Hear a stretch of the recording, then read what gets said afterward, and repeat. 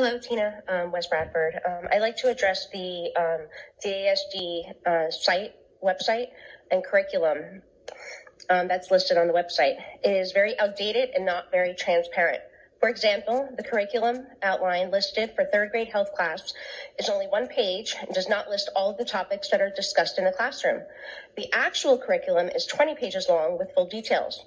The curriculum includes talks and or videos of over-the-counter and prescription medications, the difference between medicines and illicit drugs, effects of being exposed to tobacco products, risks associated with inappropriate use of prescription medicines, and the effects of alcohol use. All good topics that we can speak to our children about. I'm not denying the fact. It's just age inappropriate. And the summary page that was last revised that is posted on the website was in 2010.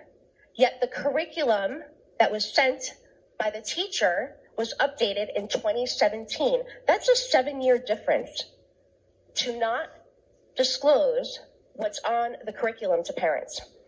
It is the same for seventh and eighth grade outlines and curriculums.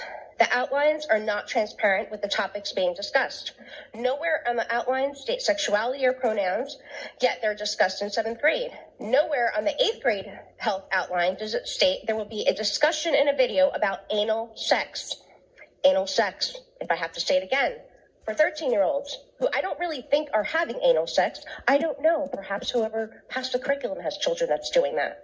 Yet, if you are not going to post the full curriculum, at the very least, we're asking for transparency. Have the outlines properly updated to reflect the current curriculum.